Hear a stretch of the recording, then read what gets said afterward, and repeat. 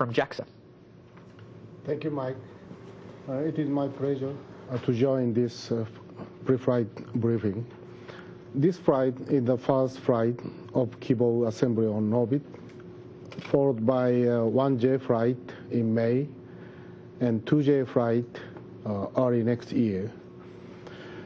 This flight will be a monumental occasion for JAXA, even for Japan, because uh, JAXA will be soon a visible partner on orbit of International Space Station for the first time in history.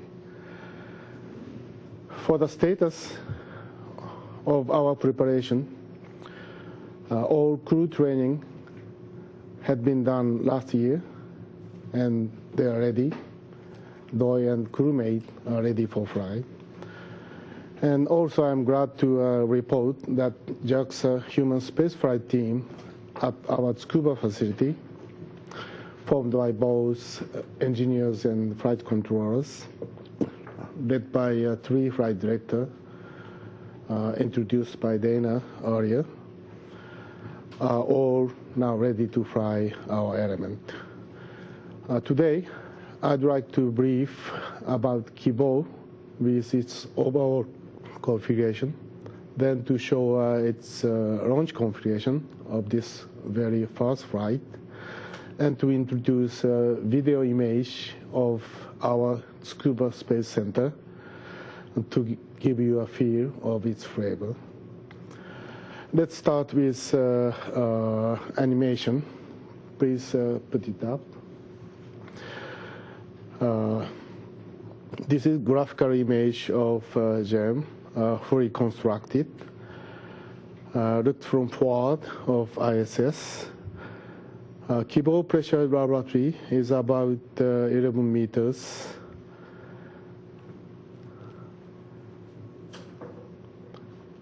And this accommodate 23 racks and 12 of which uh, for experiment purpose. This is Murphy rack. This is Hybo rack, workstation. Uh, okay, if looking from Harmony, you see uh, six rows of rack and uh, airlock at the end. Those two racks shown are on this flight. Kibo uh, storage module uh, accommodate eight rack. This is fi final destination of this rack. Uh, this is outer hatch of our air airlock for equipment transfer between inside and outside.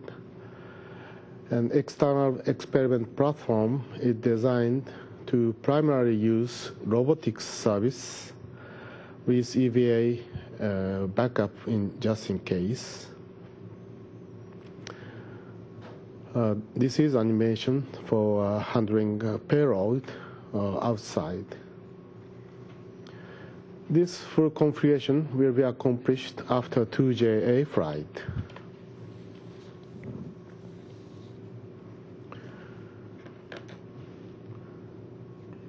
Okay, uh, then I move on to JLP photo.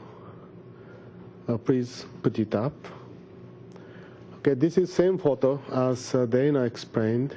We have eight rack and five of them are system rack, which will be transferred to uh, JPM, JEM pressure module, uh, during next flight. And we have two flight, Ryutai rack and uh, Saibo rack. This is for our science experiment. And we have one storage rack. And those bags fastened to the surface of rack uh, hold a few of uh, loose items and critical spares. Uh, those eight rack will be uh, brought into a Kibo pressure laboratory when uh, uh, pressurized module arrives. now, I'd like to briefly introduce our JAXA's Tsukuba Space Center. It is located uh, 40 miles northeast of Tokyo. uh, established in 1972, initially for satellite operations and research and development activities. This center has hosted the JAXA Human Space Flight Program since uh, early 1990s. Please show the video. This is the headquarter building of Tsukuba Space Center, a new nine-story building. On the way to human spaceflight area, you'll find a small pond and a family of wild duck settled there year-round. This is space station operations facility, uh, Kibo mission control room at the first floor. Uh, those are some of scene from flight control simulations. Flight directors sits at the second row, uh, left aisle. Uh, those are flight controllers, uh, Kansei position and flat position here. And she's uh, J plan, planner, uh, taking care of plan, uh, flat again. Uh, she's uh, lead flight director.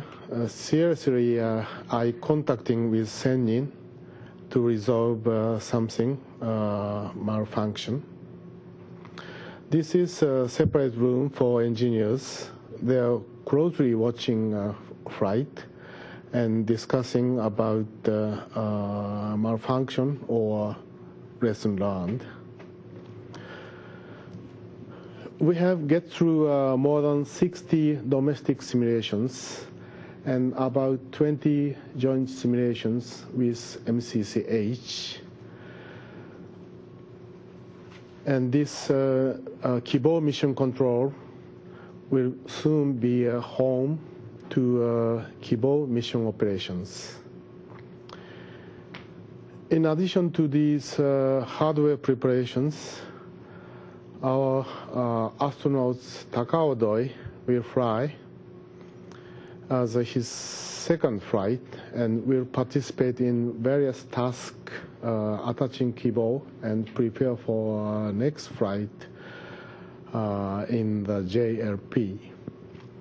Again, I am very glad uh, to get this point of preparation very close to the long-awaited moment. I also appreciate NASA colleague and she's a colleague for their efforts.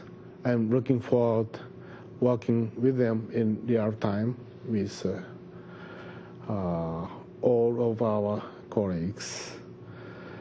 With this, uh, I'd like to pass on to uh, uh, Daniel. Thank you very much, Yokoyama-san. It's a great pleasure for me to be here today. We've been working on the special purpose dexterous manipulator for over 10 years now, and to be only a week away from launch is extremely exciting. Next uh, graphic, please. Dextre is the